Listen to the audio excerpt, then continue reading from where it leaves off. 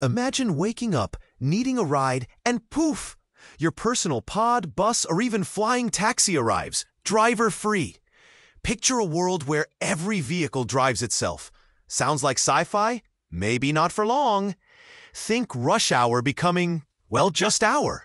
Vehicles communicating constantly means traffic jams could become ancient history, optimizing every single route. Road accidents? Drastically reduced, maybe even eliminated. Think about that level of safety.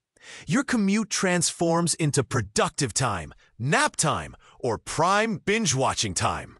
Cities could reclaim vast amounts of space currently hogged by parking lots and garages. More parks, anyone? Plus, it unlocks mobility freedom for everyone, regardless of age or ability. Wild, right?